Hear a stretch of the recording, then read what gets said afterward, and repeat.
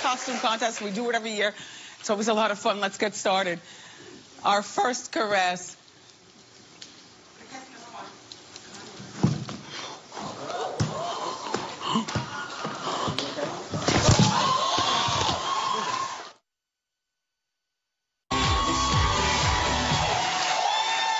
That was not a stunt.